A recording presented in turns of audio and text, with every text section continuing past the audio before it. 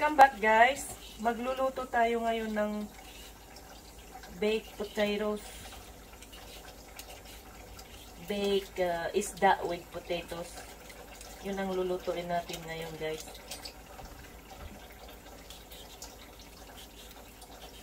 Para ano, hindi na tayo magluluto ng rice.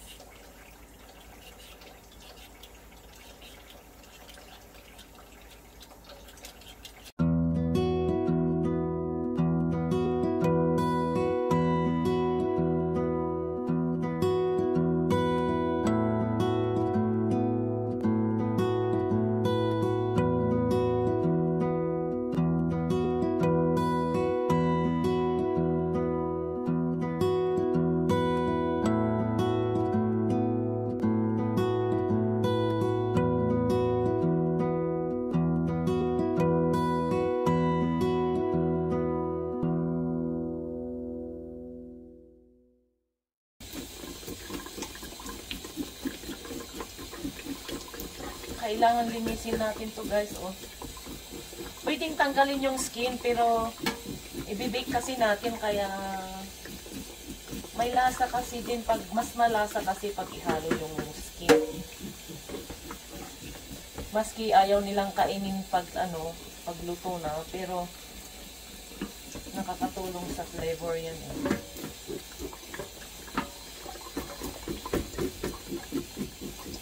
yung ibang yung ibang kitchen hindi talaga hinahalo yung yung skin kasi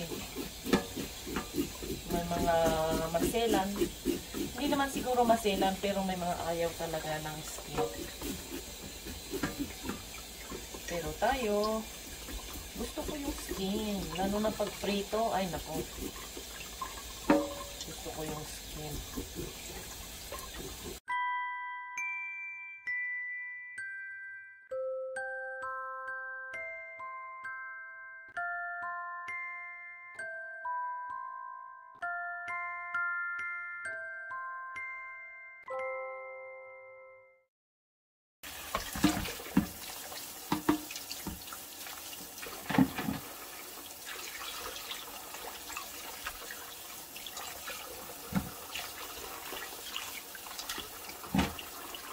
slice natin guys. Ini-slice natin.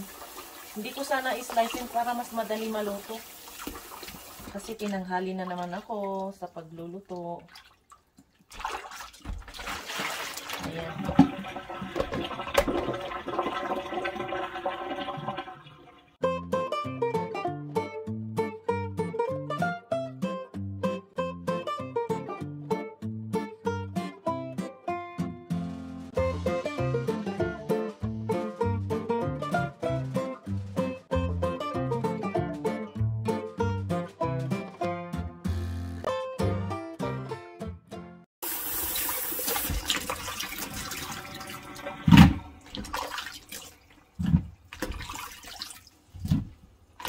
Dinadamihan ko ng potatoes kasi ito yung pinaka-rice na hindi na sila magra-rice kasi hindi na kami magra-rice noon.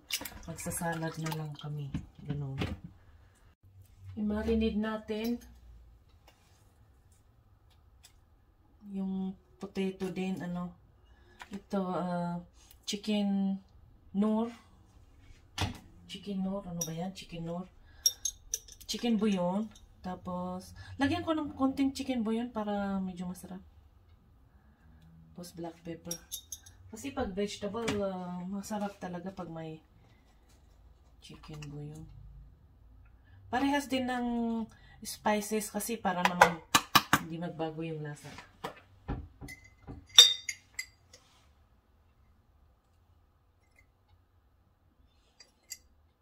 Ayan. Ayan, pa konti-konti kasi lagay.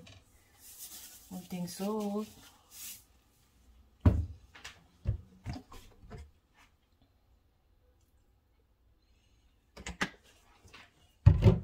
Ayun.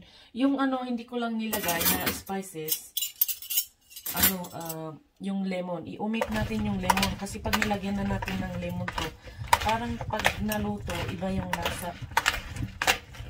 Pag medyo luto na, saka na natin ilagay yung lemon juice.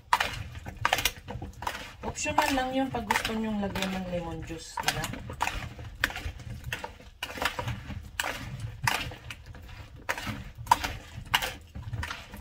Ayun. Ito din, ah, nilagyan ko ng sibuyas tapos kamatis, guys. Para naman may kulay. Pwede nyong lagyan ng paprika. Wala akong paprika kasi. Okay, i-assemble na natin.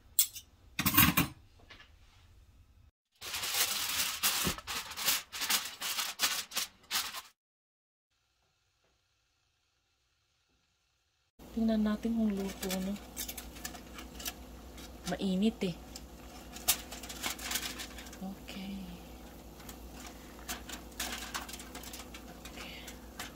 Luto na siguro. Okay. Tatanggalin natin to para mag-brown siya ng kunti.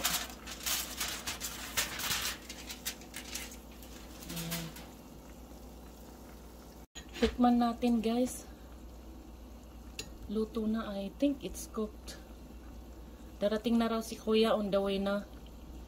Ihatid niya ako. Tikman natin. Walang ilaw kasi doon sa loob ng oven ba? Hmm. Luto na pala. Ayan, buti gumawa na ako ng salad kanina. Kasi akala ko darating late siya. Darating malilate si kuya. Eh, andyan na raw on the way. Ayan, mag-ready na tayo para maghatid ng pagkain ni Jojo.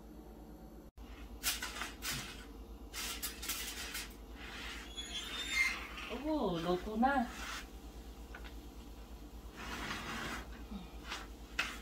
Ayan. Wow. Patayin na natin kasi muna. Ayan, luto na guys. Ganyan siya oh.